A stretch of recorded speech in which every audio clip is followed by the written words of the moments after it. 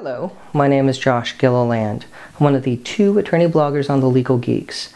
Since it is Geek Week on YouTube and we have a brand spanking new doctor that we'll see at the end of this Christmas special, let's talk Doctor Who. My favorite doctor was the third doctor. Perhaps it was the Venusian aikido, perhaps it was the Gadgets, or perhaps it was just the early 70s and that was the time period I was born. I thought it was a very, very good era. But that's not what we're here to talk about.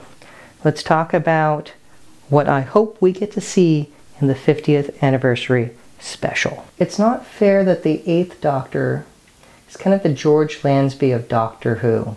He had the 1996 TV special, and that was it.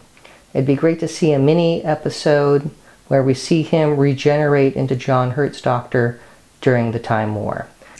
I also think we will see the Doctor use the moment to end the Time War. I wouldn't be surprised if at the end we see John Hurt's Doctor regenerate into Christopher Eccleston.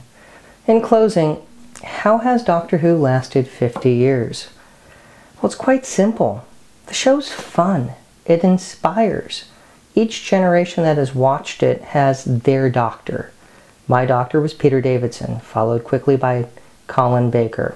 Today's generation, there are those who have identified with David Tennant, those who identify with Matt Smith, and we will see what the future holds. I am very optimistic about the 50th anniversary. I look forward to the Christmas special, and I look forward to the clock striking 12 and getting to see the next Doctor.